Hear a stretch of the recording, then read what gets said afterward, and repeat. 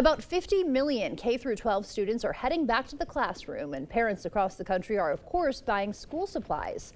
A new survey shows 10% of parents expect to go into debt to pay for those items. Nancy Chen has tips to stretch your dollars. For parents, back to school means back to spending. Since 2016, average household spending on back to school has increased 30%, with families expected to shell out more than $870 in 2024. What are parents facing this year?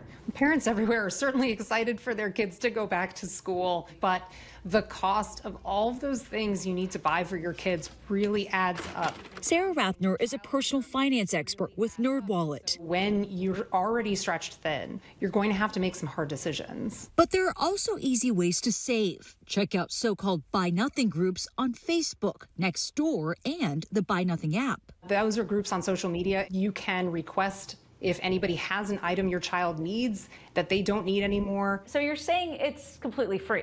It is, yes. It, people are giving of their own abundance. And if you can't find what you're looking for for free, there are online platforms to buy items used, like Swappa, OfferUp, and Facebook Marketplace. Don't forget to shop around. Target, Walmart, Staples, and Amazon are all offering 50 cent deals on different basics like notebooks, crayons, pencils, and glue. Staples will also give you $10 off a purchase of $30 or more if you trade in older items like binders or backpacks as part of their recycling program. For kids' uniforms, polos are $7 or less, and skirts $12 or less at Target, Old Navy, and the Children's Place. Check out JCPenney, Walmart, and Amazon for shoes under 20 bucks. With a little homework, you can get an A plus in economics this back to school shopping season.